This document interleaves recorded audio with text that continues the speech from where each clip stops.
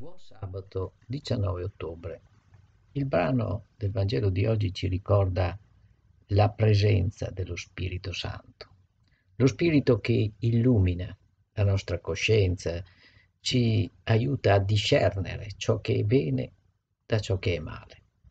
E siamo chiamati a essere ascoltatori della parola dello Spirito, perché le scelte giuste non nascono soltanto da noi. Noi siamo semplicemente coloro i quali, attraverso il discernimento, attraverso l'illuminazione dello Spirito, siamo invitati a percorrere strade all'insegna dell'amore.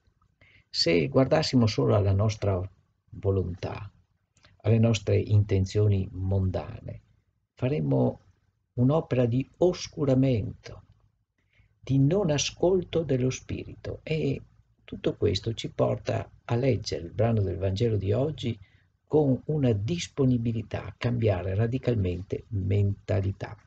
Ascoltiamo dunque le parole del Vangelo e cerchiamo di fare in modo che, questi, che queste riverberino nel corso della nostra giornata. Dal Vangelo secondo Luca, in quel tempo Gesù disse ai suoi discepoli, Io vi dico, Chiunque mi riconoscerà davanti agli uomini, anche il figlio dell'uomo lo riconoscerà davanti agli angeli di Dio. Il riconoscere il figlio dell'uomo, il figlio di Dio. È un'opera non particolarmente semplice perché il figlio dell'uomo, il figlio di Dio, ci chiede una conversione costante relativamente al nostro modo di vivere, alla nostra mentalità, troppo spesso mondanizzata. Certo, viviamo in questo mondo, non c'è nessun dubbio, ma possiamo anche vivere serenamente in questo mondo senza obbedire alla logica di questo mondo. E pertanto il riconoscere o il non riconoscere il figlio dell'uomo si concretizza nel nostro modo di interpretare la dimensione della giustizia e dell'amore. Ma chi mi rinnegherà davanti agli uomini sarà rinnegato davanti agli angeli di Dio. Quali sono le azioni di rinnegamento? Facciamo solo qualche esempio. Il respingimento del prossimo che bussa alle nostre porte, porte spinto dalla miseria, dalla fame e dalla ingiustizia.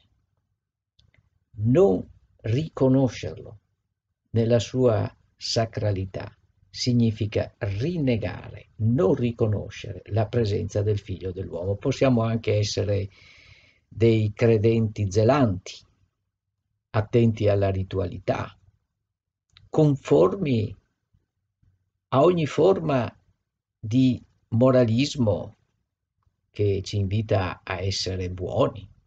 Ma quando poi concretamente siamo chiamati al discernimento tra il bene e il male, lì dobbiamo fare i conti col nostro egocentrismo, con il nostro egoismo e respingere il prossimo significa non riconoscere la presenza del figlio di Dio.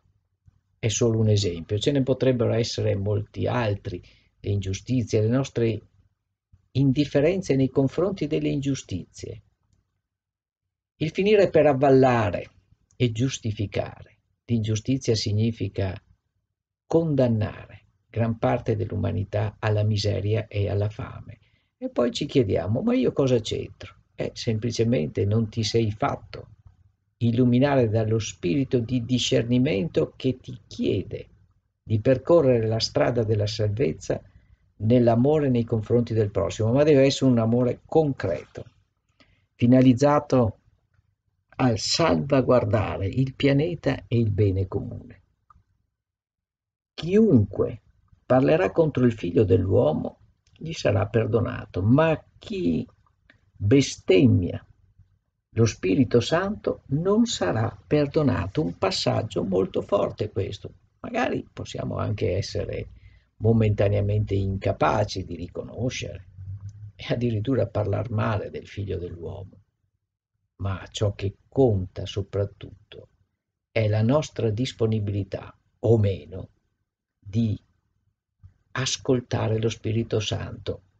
Eh, per non credenti significherà qualcosa di astratto, ma significa sostanzialmente ascoltare la voce della vita, bestemmiare contro lo Spirito Santo, contro l'essenza della vita è imperdonabile e questo lo possiamo osservare giorno dopo giorno nelle grandi tragedie del nostro tempo, le pandemie, la crisi economica e finanziaria, le guerre, gli insulti che noi infliggiamo a nostra madre terra rappresentano la bestemmia nei confronti dello Spirito Santo, che è spirito di discernimento, e per i non credenti è una bestemmia nei confronti del dono della vita che abbiamo ricevuto e che siamo chiamati a servire. Sì, servire, non dominare.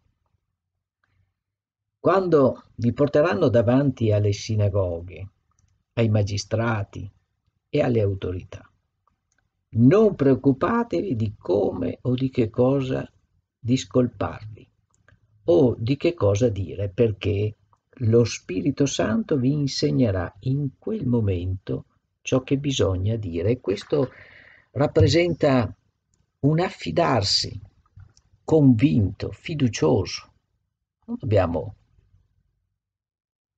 macchinare chissà quali giustificazioni di fronte alle colpe che ci vengono attribuite ingiustamente. Non dobbiamo cercare un discorso precostituito. Lasciamoci andare anche laddove vi sia la persecuzione a una parola che nasce nella nostra disponibilità a lasciarci andare, alla forza illuminante dello spirito, alla forza illuminante della vita. E quindi oggi siamo chiamati a vivere intensamente con coraggio la fede che illumina la nostra esistenza, credenti o non credenti, senza mai cadere nelle trappole difensive paranoiche di una mondanità, la quale non intende ascoltare la voce dello Spirito Santo, la voce della vita che parla in maniera molto chiara e precisa relativamente a quale debba essere la strada per cambiare mentalità, per essere protagonisti e testimoni di conversione. Buona giornata a tutte e a tutti.